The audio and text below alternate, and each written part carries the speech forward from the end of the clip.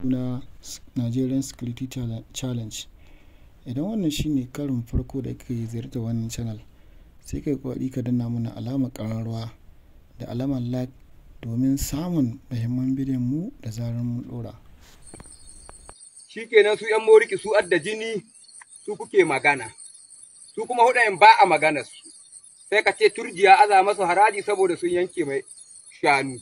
Sun harbi Wannan shine kaftin ya harban mai shanu. To ku ji mutanen Mori na aka ni ƙasar ƙasar ga.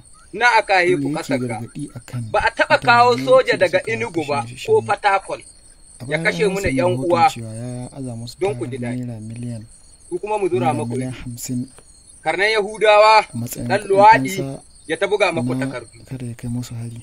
Kuma kacce sun je sun yi zuwa A faɗa mana abin da suka miliyan a watan bakwai na rani watan shidda da watan biyu aka kashe wutan ga shanu. Ga don Allah. Kuma ba gidan wani an ka zo ba balle a ce suna hokkiwo ga tudu aka kasuwanni. Ga ranar Allah a faɗa mana wannan ƙiyayya da kake yi muna. Ka zo ka faɗi ra'ayinka ɗan shinkafa kai magana da shi ya ce ma gaban shi ya taɓa ganin an hidda hanjin mutum. Kuma tun daga ran nan baka sake maimaita wagga magana ba in ba da kake maƙiyan Allah ba. To duk ire-iren kuna nan Yahudawa hada wani wai wanda shi ikirari ya kai musulmi ne wai kuma